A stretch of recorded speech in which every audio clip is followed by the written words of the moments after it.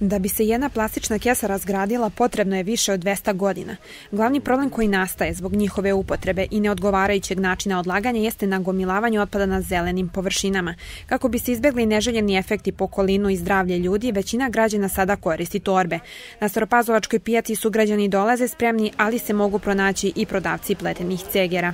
Kako ide prodali? Pa lošije, daleko lošije. Manje je para, manje je naroda, manje je svega.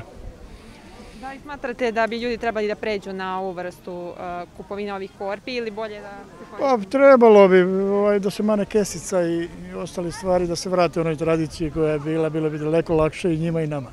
Kako tvrdi većina kupaca na pijaci, kese nisu praktične, te iz tog razloga uvek sa sobom nose platene torbe. Ja imam kolica, dete moje, ja kesu slabo koristim.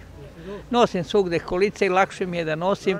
U svakom slučaju su papirne kese bolje zbog prirode, zbog a ovako koliko su praktično, to je druga stvar.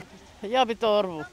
Kese su ipak slabe i propadnu, dok izađeš iz prodavnice, pocepaju se. Kese gde god mogu ja izbegavam. Mislim da je ovo praktičnije, da oni svi stavljaju kese, pa onda moraš sve opet ponovo. Plastična kesa se prosečno koristi 20 minuta, a prirodi je ostavljamo za narednih nekoliko vekova.